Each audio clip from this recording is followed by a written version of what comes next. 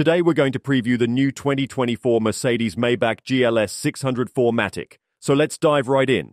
This luxury SUV received a facelift alongside the GLE and GLE Coupe and now comes with new paint finishes, interior colors, and trim. Its engine is fully electrified with 48-volt technology, and it has upgraded standard equipment as well as new options.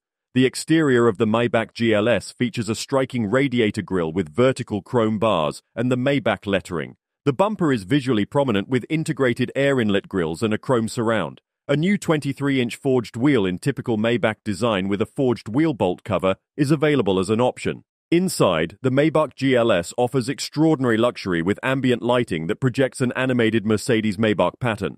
The seat covers have a new design with high-quality diamond pattern quilting and specific perforations. There are also exclusive color combinations available, such as MANUFAKTUR crystal white silver gray pearl and MANUFAKTUR mahogany brown macchiato beige. Other features of the 2024 Mercedes Maybach GLS include new paint finishes like Sodalite Blue Metallic and MANUFAKTUR Alpine Gray Non-Metallic, the latest steering wheel generation with touch controls on the spokes, and a voice assistant that can be activated without the keyword Hey Mercedes.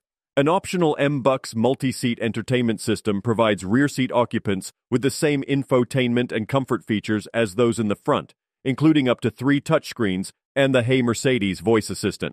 In terms of performance, the GLS 600 4MATIC has a 4-liter engine and delivers 557 horsepower, with an additional output of 22 horsepower from its electric boost. It has a peak torque of 730 newton meters, with an additional 250 newton meters from the electric boost. It can accelerate from 0 to 100 kilometers per hour in just 4.2 seconds, with a top speed of 250 kilometers per hour. That's it for our preview of the 2024 Mercedes Maybach GLS 600 4MATIC.